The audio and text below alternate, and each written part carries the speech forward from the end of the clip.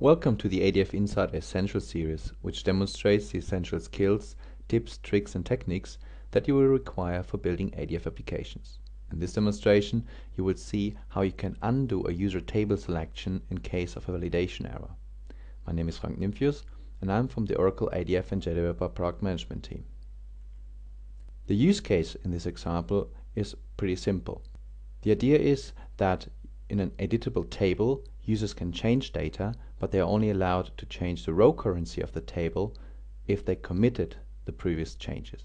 If the user tries to change the row setting before committing a change, then an alert should be shown that informs the user about the requirement for commit and then the system should reset or restore the previously selected table row.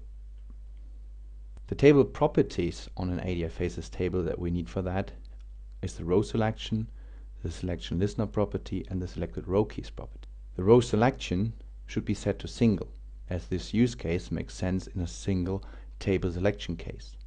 Of course, the example that I give in this session can also be used in a multi-row selection case, but it makes more sense in a single selection case. The selection listener of the table actually makes sure that the selected table row in the ADF Faces table is synchronized with the ADF binding layer. If that listener wasn't there, then the ADF binding layer and the table would soon be out of sync. The selected row key, that is the property pointing to a object that holds the current selected table row. This is updated by the ADF Faces table. Manipulating this property programmatically would allow you to set the current selected row to any other row. So the key to the solution for the use case introduced in the beginning is to define your custom selection listener, basically decoupling the ADF Faces table selection behavior from setting the current row on the binding layer. This way it will allow you to intercept the user selection, verify that the validation is okay, whatever you need to perform there, and then if the validation is okay, continue by synchronizing the ADF binding layer with a new row selection or just restoring the previous row selection and just informing the user about the change. So what a custom selection listener needs to do is it needs to read the previous selected row state, it needs to get access to the binding layer so it can synchronize the binding layer with the table selection, it needs to get access to the controller context so that we can get the transaction state of the current transaction from the task flow we're in. That could be an unbounded task flow or a bounded task flow. If there are no uncommitted data, then the selection listener will synchronize with the ADF binding layer so that the table selection state is the same as the current row on the binding layer. The sample I will show you uh, that explains how the solution is implemented is simple as I mentioned before. But what you learn in this session is how to override the default selection listener in a table, how you can determine the transaction state from the ADF controller context, how you can undo a row selection, and how you synchronize in Java the ADF Faces table selection with the ADF binding layer. And of course, you learn a lot about how to use the ADF framework internally from Java.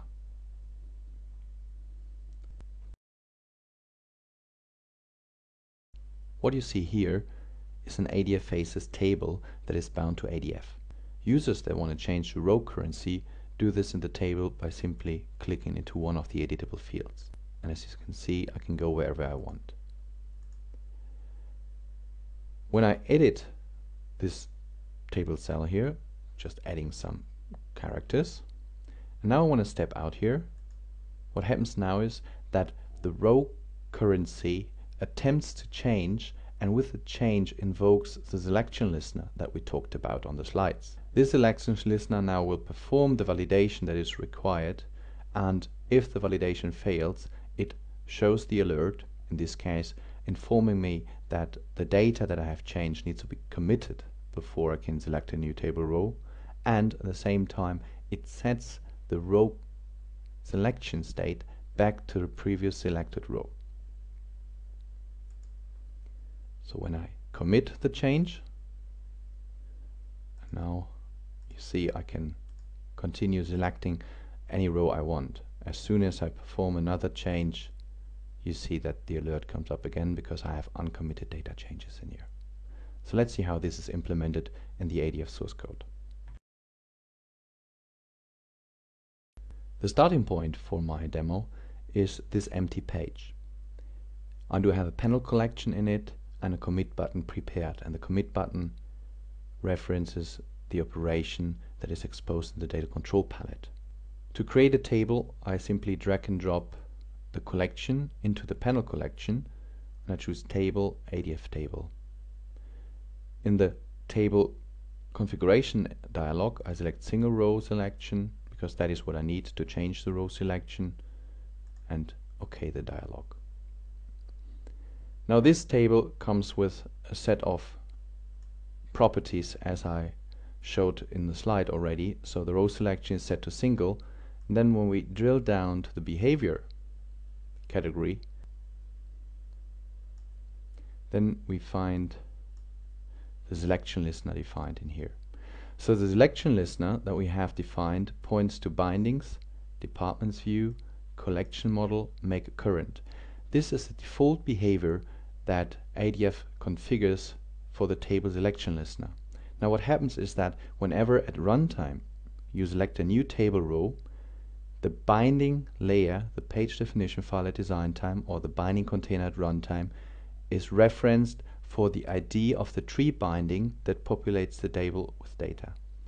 And this tree binding has a collection model reference and this collection model reference has a method called make current and what it does is it takes the current row key set, so the selected row key set, and passes this on to the binding layer for the binding layer to synchronize its current row with the selection in the table. What we need to do to intercept this selection is to use a managed bean and to handle the selection listener case ourselves. So we take out the listener and then we choose the edit option and what we can do is we can create a new managed bean and then have the new managed bean generated with a method to handle the listener. For the purpose of this demo I already pre-created a bean it's called my table page bean and that has a method called on table select. So configuring my table with this new managed bean or this existing managed bean in my case, will now, whenever the table row currency changes, inform the managed bean method about the change. So let's have a look at the managed bean. So what the managed bean does, first of all, it receives a selection event. This selection event is passed in from the ADF table. And we can use this event object to get access to the removed row set. Now the removed row set is nothing else than the information about which rows have been deselected. And we keep this row set state or this row keys just in case we need to restore the old state, which we need to do if you attempt to navigate off a current selected row with uncommitted data. From the selection event as well, we get access to the rich table.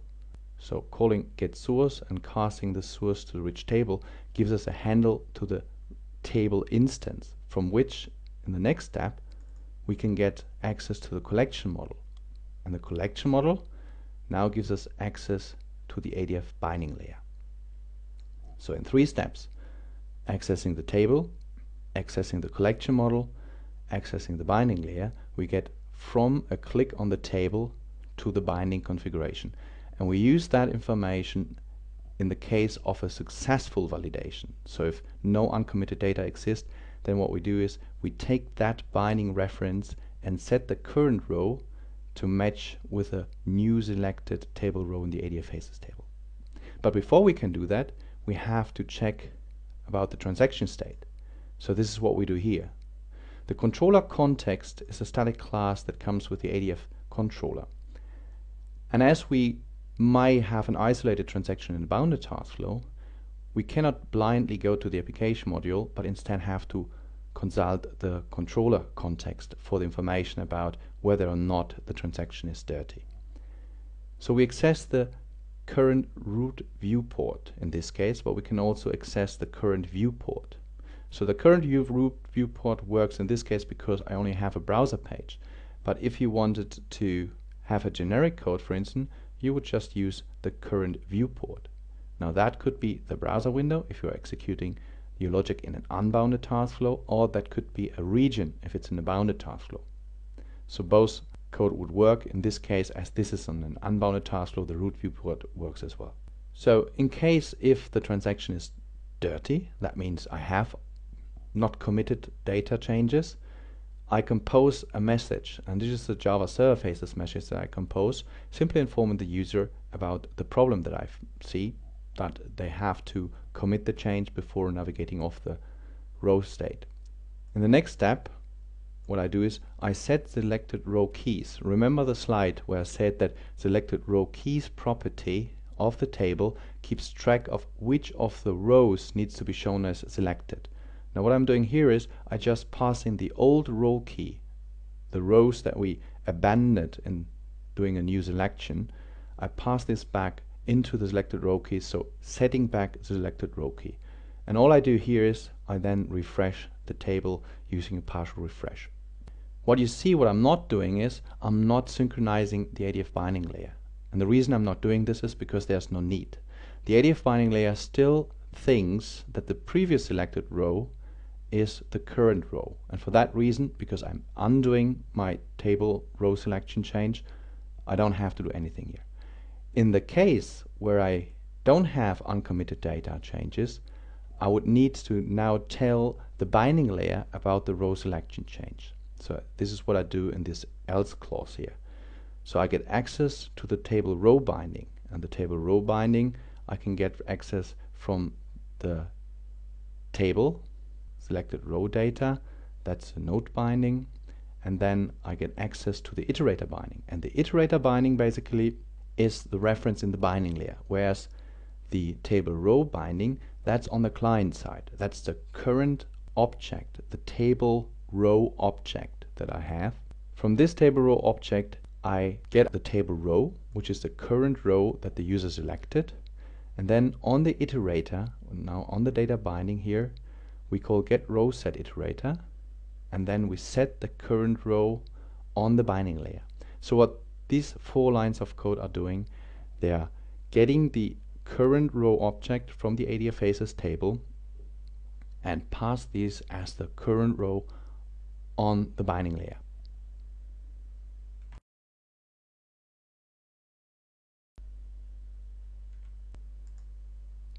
More information about Oracle ADF and Oracle JDeveloper is provided on the JDeveloper homepage. Point your browser to oracle.com slash technology slash jdev and there you find the software downloads, tutorials, entries to the discussion forum where you can ask your questions and have experts answering them. You find samples, the developer guides and many more information that are useful for you building Oracle ADF applications.